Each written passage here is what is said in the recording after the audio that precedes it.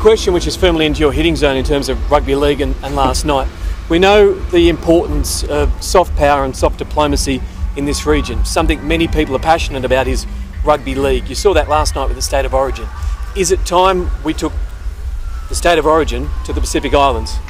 That is would be uh, a very much a welcome initiative. Very much a welcome initiative. And I've also had discussions uh, with the NRL very directly, and I've spoken with Peter V'landys uh, and Andrew Abdo about uh, the Pacific uh, and the engagement with uh, with rugby league. It is it is a, a passionate uh, sport here. Uh, it's the number one sport here. rugby league, rugby union, of course, is very big in Fiji here as well.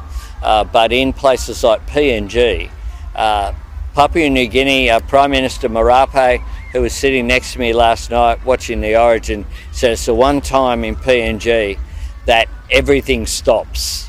Everything stops throughout the entire country, and they're very passionate. And it would be a great thing uh, for such an event to occur. It would also be a good thing if we gave consideration about how you get a Pacifica team uh, team with connections with PNG, Tonga, Samoa. Uh, if you have a look last night, there was a bit of representation uh, from uh, Pacific Island countries uh, there running around in state of origin, and and that is a, a good thing.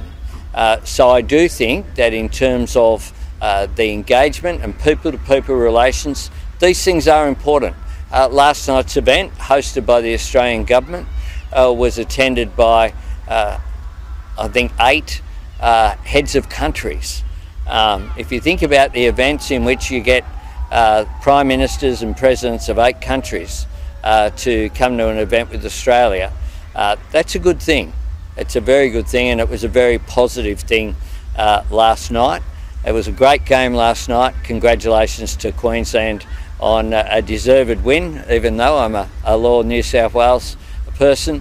Uh, clearly, the best team won uh, last night, and the courage they showed playing with just 15 men uh, for that long period of time for about 77 minutes was extraordinary. Just one couple more. Hey, Pam, I won't ask if Nauru should have the host the AFL Grand Final, um, but um, Actually, the rep from Nauru, the president isn't here, but the uh, the minister from Nauru was telling me that AFL is the number one sport so in Nauru national sport. Um, the declaration of a climate emergency is that a word? Climate emergency is that the, the, same sort of words? Would you use that to describe what the world is facing with climate well, change? Uh, and, and Australia's policies consistent with such a declaration? Well, people have used uh, used that term uh, before uh, many times. What what I say is that uh, the world's climate emergency is Australia's opportunity.